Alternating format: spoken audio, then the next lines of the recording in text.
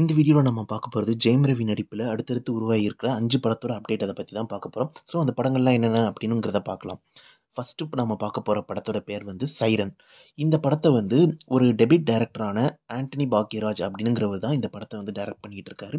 So இந்த படத்தோட first schedule பார்த்தீங்கன்னா சென்னையில் வந்து ஏற்கனவே நடந்து முடிஞ்சிருச்சு.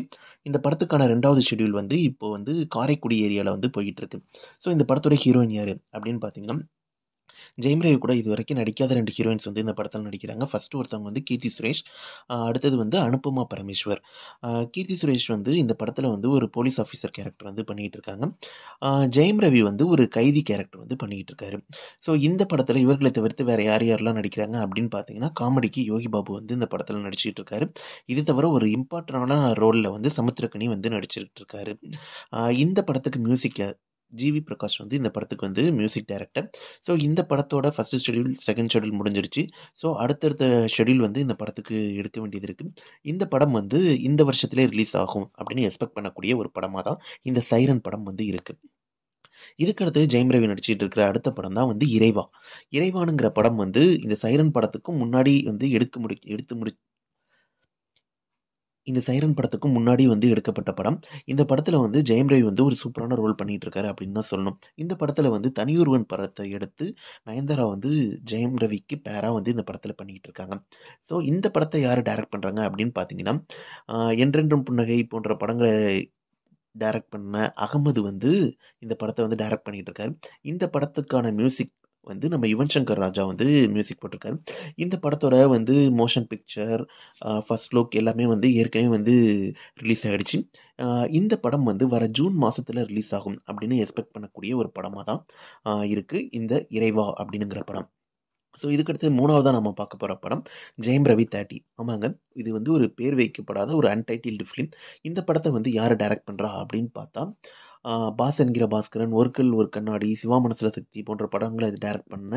ராஜேஷ் வந்து இந்த படத்தை வந்து டைரக்ட் பண்ணுறாரு ஸோ இந்த படத்துக்கான பூஜையெல்லாம் வந்து டுவெண்ட்டி டுவெண்ட்டி டூ போன வருஷமே வந்து போட்டாங்க. இந்த படத்தில் வந்து ஹீரோயினாக வந்து பிரியங்கா அருள்மோகன் வந்து நடிக்கிறாங்க. டான் டாக்டர் வெற்றிகளை தொடர்ந்து இந்த படத்தை வந்து அவங்க நடிச்சிட்டு இருக்காங்க.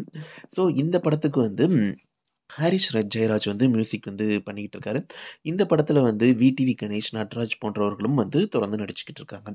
ஸோ இதனை அடுத்து ஜெயம் ரவி நடிக்கிற இன்னொரு நாலாவது படம் தான் வந்து பொன்னியின் செல்வன். இது வந்து பொன்னியின் செல்வத்தோட ரெண்டாவது பாகம். இந்த படம் வந்து ஏப்ரல் இருபத்தி எட்டாம் தேதி வந்து ரிலீஸ் ஆகுது.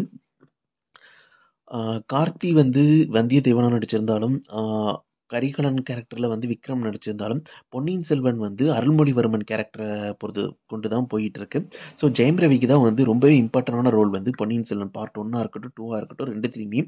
ஸோ இவர் வந்து இந்த படத்தோட ஷூட்டிங்க்கு தேவையானதெல்லாம் இவரோட போர்ஷனை வந்து நடித்து முடிச்சு கொடுத்துட்டாரு. ஸோ இதுக்கப்புறம் இந்த படத்தோட ரிலீஸ் ரிலேட்டடான ஒர்க் போயிட்டு இருக்கு அடுத்து வந்து கிராஃபிக்ஸ் ரிலேட்டடான ஒர்க் இதெல்லாம் போயிட்டு இருக்கு ஸோ ஏப்ரல் டுவெண்ட்டி எயிட் இந்த படம் வந்து தேட்டரில் ரிலீஸ் ஆகும். ஸோ இதுக்கடுத்து ஜெயம் ரவி நடிக்க போகிற ஐந்தாவது படமாக எந்த படத்தை சொல்கிறாங்க அப்படின்னு பார்த்தீங்கன்னா ரெண்டாயிரத்தி பதினஞ்சாம் ஆண்டு ஜெயம் ரவி நயன்தாரா நடிப்பில் வெளிவந்து செம்ம ஹிட்டான ஒரு படம் தான் வந்து தனி ஒருவன்.